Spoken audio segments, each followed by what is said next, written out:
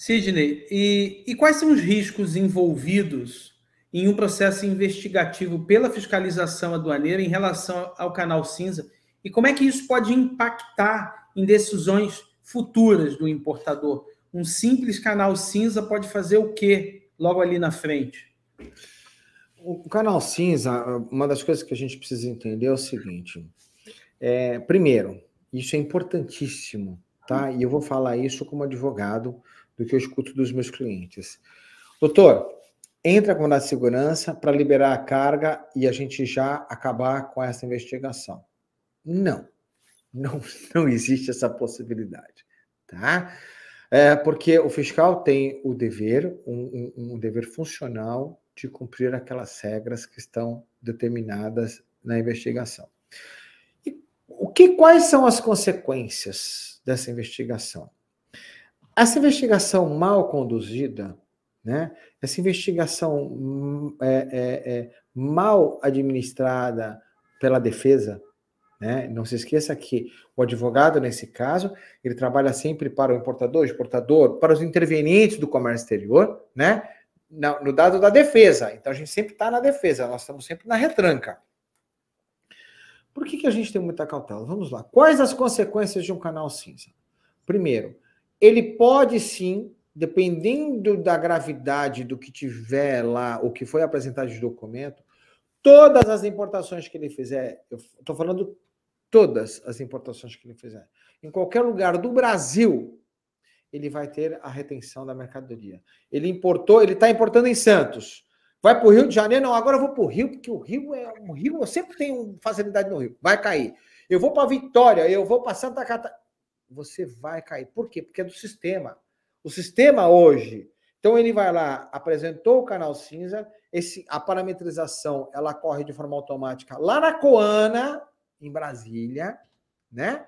E quando volta, isso é milésimos de segundo, volta canal cinza. Por quê? Depois a gente descobre. Mas basicamente porque existe uma anotação de que aquela mercadoria existe uma suspeita de tal envergadura de fraude que a Receita Federal resolve bloquear todas as operações que ela fizer no Brasil. Tá?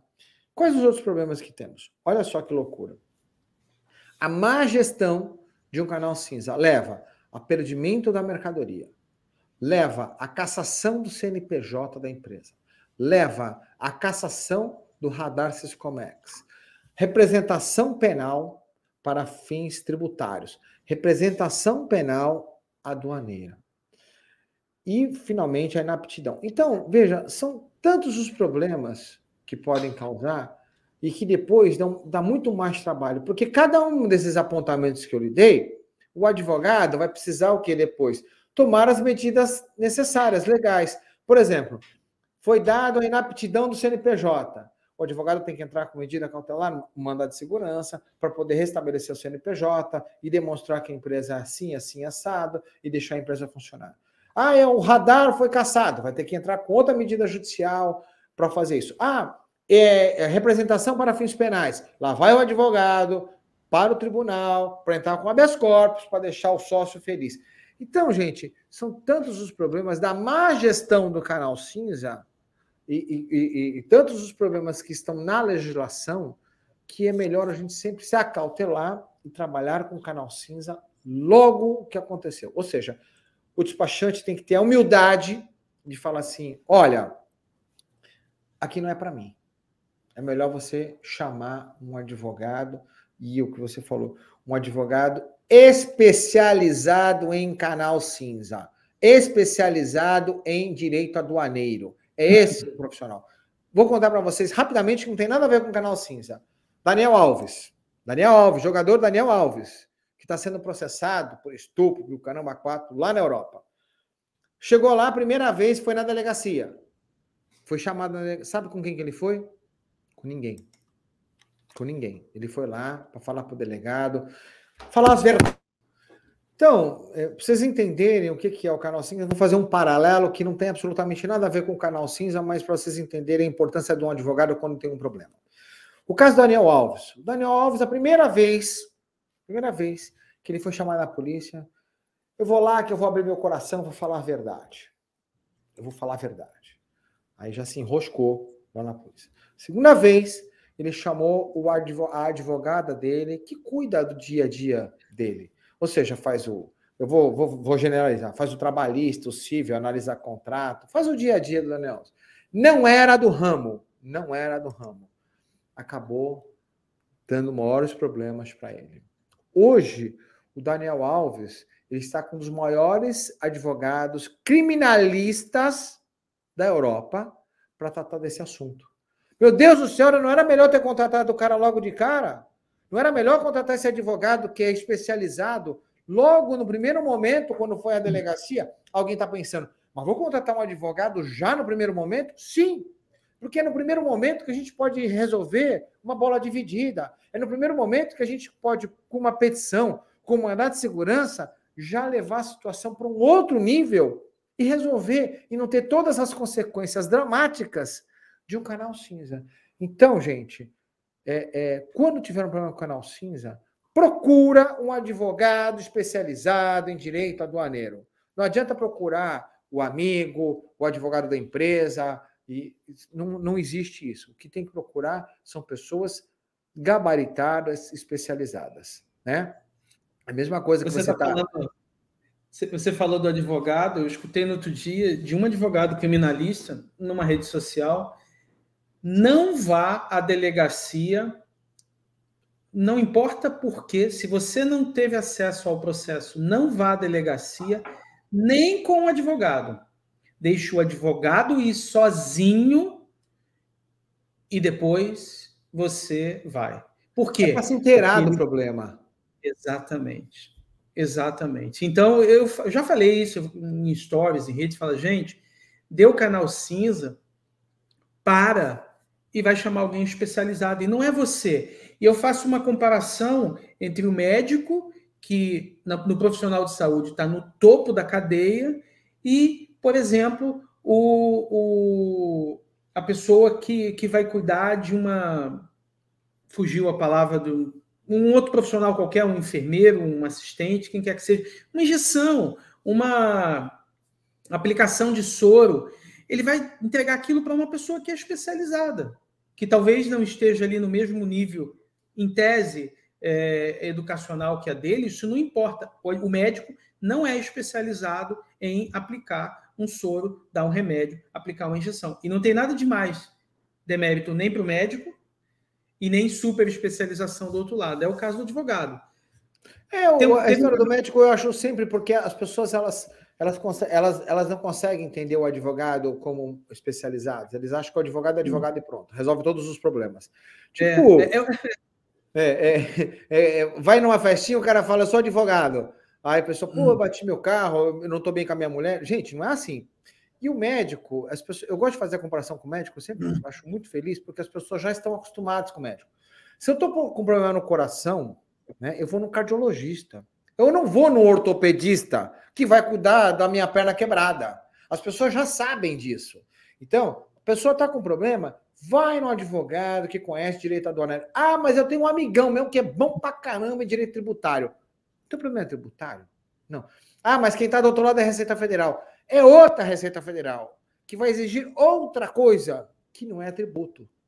Então, ele vai trabalhar, a Receita Federal, nesse caso, a aduana, ela trabalha com fiscalização e controle do comércio exterior.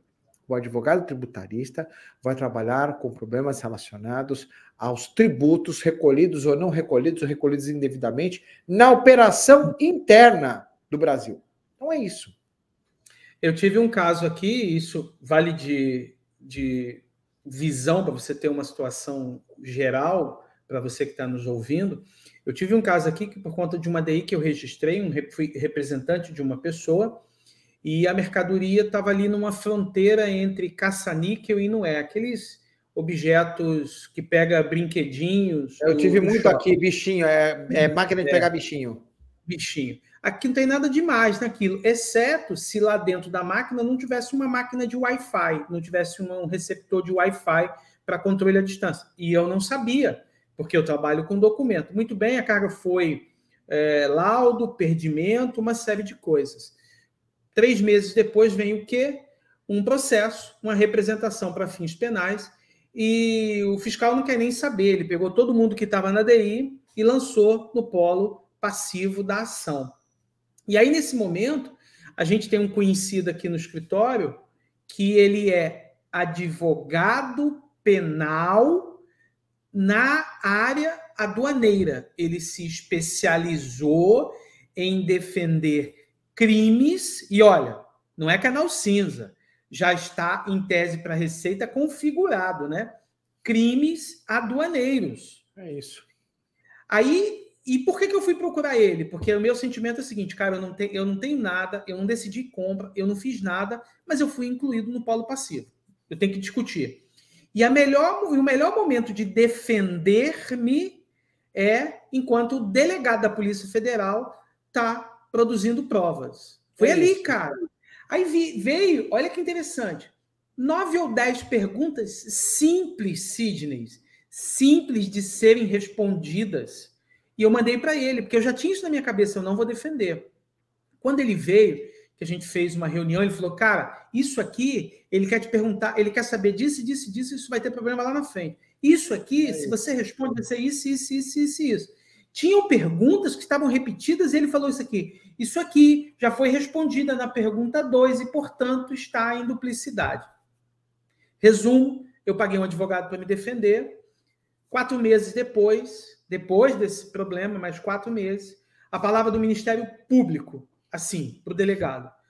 Não enxergamos nada que pudesse caracterizar o despachante aduaneiro como cúmplice do, do crime, ora praticado. É isso. O que aconteceu depois eu não sei, mas eu sei que eu, que não tinha nada a ver com a história, me defendi. Agora, se eu fosse o senso comum, eu ia responder, tá tudo bem.